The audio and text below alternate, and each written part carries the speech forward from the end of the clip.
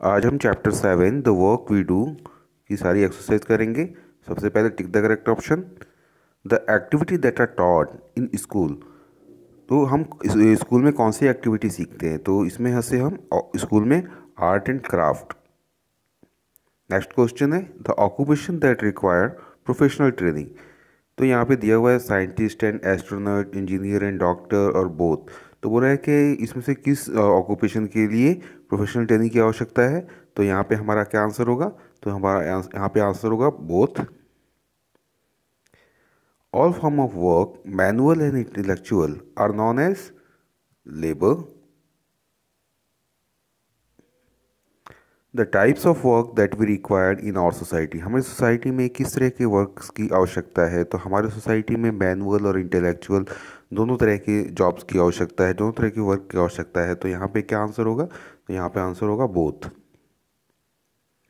फिर the blanks childrens take up different occupation when they grow up बच्चे जब बड़े हो जाते हैं तो अलग अलग व्यवसाय को चुन, चुनते हैं। Once learn the task either from family member और बाय प्रोफेशनल ट्रेनिंग हम किसी भी टास्क को कैसे सीखते हैं तो या तो फैमिली मेंबर से सीखते हैं या प्रोफेशनल ट्रेनिंग दे के सीखते हैं। Many peoples look down upon manual labour बहुत सारे लोग जो लोग हैं, वो मैनुअल लेबर को थोड़ा सोचते हैं कि वो उसका काम ठीक नहीं है, ऐसा नहीं है। ये ये सारी चीज़ें लोगों में हीन भावना रहती है। We must respect those people who make our life easier हमें उन लोगों की रिस्पेक्ट करनी चाहिए जो हमारे जीवन को सुविधाजनक बनाते हैं। Many families have domestic help to take care of all their household chores. Complete the following sentences यहाँ पे सेंटेंस दिया हुआ है, इसको पूरा करना है। The choice of one's occupation depend upon their interest all occupation require hard work sincerity creativity mental alertness में कोई भी काम हो, सारे काम में सिंसियरिटी चाहिए क्रिएटिविटी चाहिए मेंटल अलर्टनेस होना चाहिए। Many industries were set up to transform agricultural products. Availability of raw material play an important role in occupation of people अब जो व्यक्ति जहाँ पे रह रहा है, कोई पहाड़ों पे रह रहा है, कोई मैदानी भागों में रह रहा है तो वहाँ पे जिस तरह का रॉ मटेरियल्स की अवेलेबिलिटी होगी, लोग उसके अनुसार ही अपना ऑक्यूपेशन करते हैं। Gujjars of Himalaya are gypsies then answer the following question what is an occupation occupation क्या है? A an occupation is a meaningful task that undertaking to earn livelihood what means कि हम अपने लाइवलीहुड जीवन यापन के लिए जो भी चीज़ करते हैं, जो भी व्यवसाय करते हैं, वो क्या है? वो ऑक्यूपेशन है। Give two example each of manual and intellectual level तो यहाँ पे मैनुअल और इंटेलेक्चुअल लेवल के बारे में देना है। तो मैसन और स्वीपर आपका हो गया क्या? मैनुअल हो गया और इंटेलेक्चुअल पायलट और teacher now what do you understand by dignity of labour dignity of labour से आप क्या समझते हैं? Dignity of labour mean respect for all types of labour and not considering any job superior to other हमें सभी तरह के work को सम्मान करना चाहिए। कोई भी वर्क किसी से सुपीरियर नहीं है। सभी अपने अपने क्षेत्र में सभी की आवश्यकता है।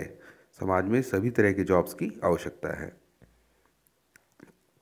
What is the main occupation of Mizoram Mizoram के लोगों के मुख्य व्यवसाय क्या है? क्यों?